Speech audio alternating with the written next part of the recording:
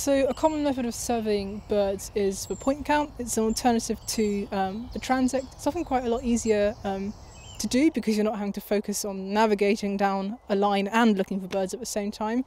Um, the point count relies on you standing still uh, in one spot for a while. Um, so essentially what you're doing is you find a location, ideally a random location, um, and you spend somewhere between three to ten minutes recording any bird that you can see or hear um, in any direction.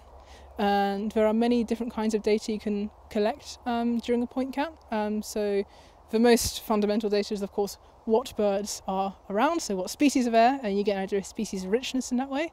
Um, but you can also try to identify how many birds you can hear at the same time. If you can hear two birds calling from different places, um, then you know that there's more than one individual around.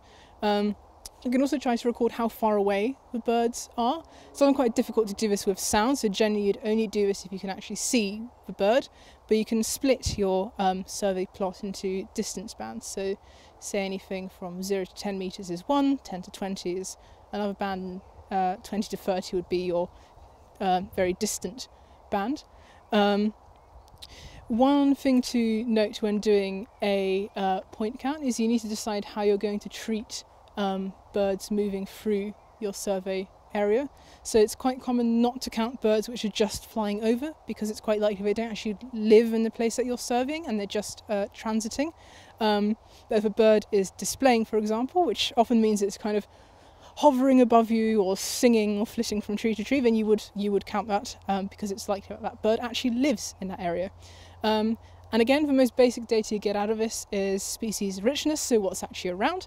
Um, it is possible to estimate species abundance as well. Um, again, the statistics behind that can get quite complicated quite quickly, um, but that is definitely something that's worth looking into, even out of interest, just to see how many people uh, have been arguing about what is the best method to try and get uh, species abundance estimates from point counts.